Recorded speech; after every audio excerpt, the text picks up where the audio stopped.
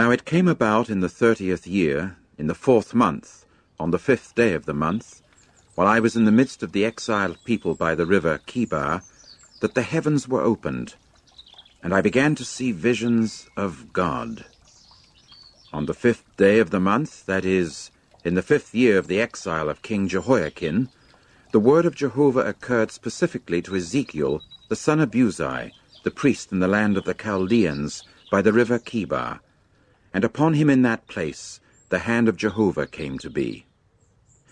And I began to see and look.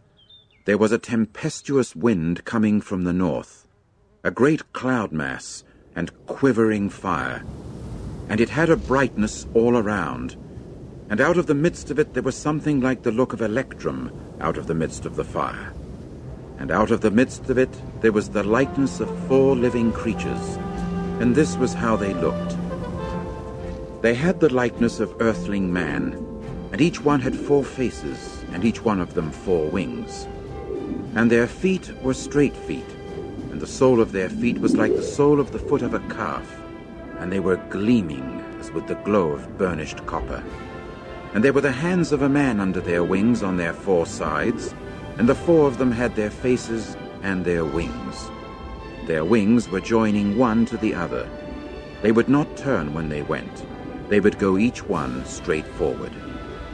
And as for the likeness of their faces, the four of them had a man's face, with a lion's face to the right, and the four of them had a bull's face on the left.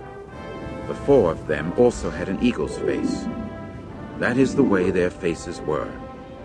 And their wings were spreading out upward. Each one had two joining to each other, and two were covering their bodies. And they would go, each one, straight forward. To wherever the Spirit would incline to go, they would go. They would not turn as they went. And as for the likeness of the living creatures, their appearance was like burning coals of fire.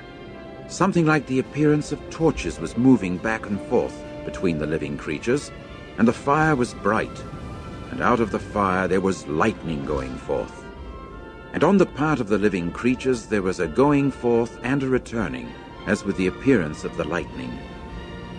As I kept seeing the living creatures, why, look, there was one wheel on the earth beside the living creatures, by the four faces of each.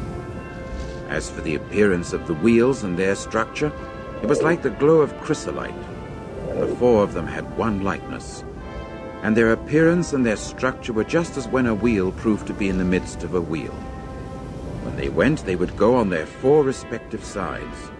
They would not turn another way when they went. And as for their rims, they had such height that they caused fearfulness. And their rims were full of eyes all around the four of them. And when the living creatures went, the wheels would go beside them. And when the living creatures were lifted up from the earth, the wheels would be lifted up. Wherever the Spirit inclined to go, they would go, the Spirit inclining to go there. And the wheels themselves would be lifted up close alongside them, for the Spirit of the living creature was in the wheels. When they went, these would go. When they stood still, these would stand still. And when they were lifted up from the earth, the wheels would be lifted up close alongside them, for the spirit of the living creature was in the wheels. And over the heads of the living creatures there was the likeness of an expanse, like the sparkle of awesome ice stretched out over their heads up above.